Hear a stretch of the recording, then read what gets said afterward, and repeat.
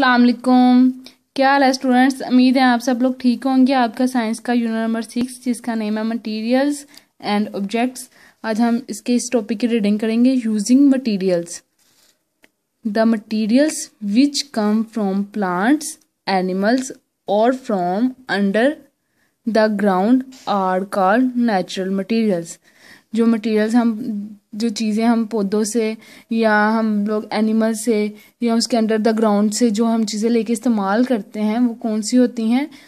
Natural material देखें। The things shown below are made of natural materials यहाँ पे आपको तस्वीर में दिखाएँगे, ये चीज़ें किससे बन के मिल के बनी है? नेचुरल मटेरियल से, देखें। पेंसिल मेड ऑफ़ वुड जो पेंसिल ये लकड़ी। लकड़ी क्या है? नेचुरल मटेरियल है, ठीक है? तो ये जो पेंसिल है, वो किससे बनी है? लकड़ी से। Hammer made of metal and wood ये देखें, ये है वुड और ये है मेटल ठीक है?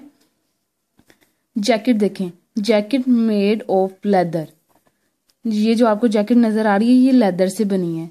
नेक्स्ट देखें jewellery made of gold silver and precious stones ये देखें, ये गोल्ड की ज्वेलरी है जो इयरिंग्स आपको नज़र आ रहे हैं, ये सिल्वर की है और ये प्रीशियस स्टोन ये आपको नज़र आ रहा है, बहुत कीमती स्टोन है, ठीक है? नेक्स्ट देखें a bowl made of clay ये जो मिट्टी का घड़ा बना हुआ है, ठीक है? आज आपने ये रीडिंग डन करनी है और इसके साथ, और इसके साथ क्वेश्चन आंसर करने हैं। देखिए क्वेश्चन नंबर वन क्या है? What is meant by texture आज texture means whether the thing is rough smooth, hard और सॉफ्ट। ऐसे जो रफ भी हो, स्मूथ भी हो, हार्ड भी और सॉफ्ट भी हो, नरम, सख्त, स्मूथ, मुलायम और रफ, खुरदरी। क्वेश्चन नंबर टू देखें। Name the kind of materials तो हमने इसमें उन्होंने पूछा, आपने टू काइंड कितनी मटीरियल्स की कितनी काइंड है? टू काइंड है। Ans materials are of two kind materials की कितनी इकसाम है? दो।